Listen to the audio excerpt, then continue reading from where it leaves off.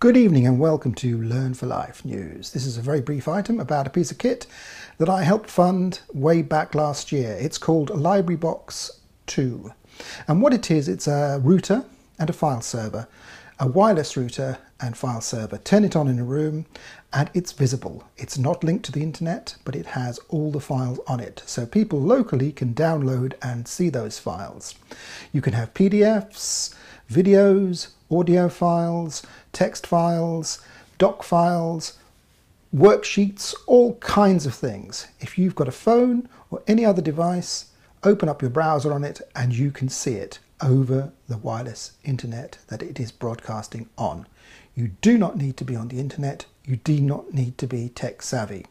I've done a brief review of it here at my site, l4l.co.uk. Just click on that picture on the left and it will take you to the site and you'll be able to see a little video about what it does and how it works. It's one of those little pieces of software on kit that's open source that works perfectly. Easy to access, easy to use, and I'd recommend it. Go to the site listed at the bottom of my webpage and you can actually make your own because it's open source. It tells you how to do it or you can buy one from the States. This was something I was pleased to put money towards because I think it's a really, really good idea.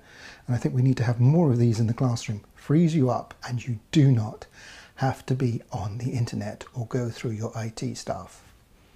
Hope you find it of interest and useful. Bye now.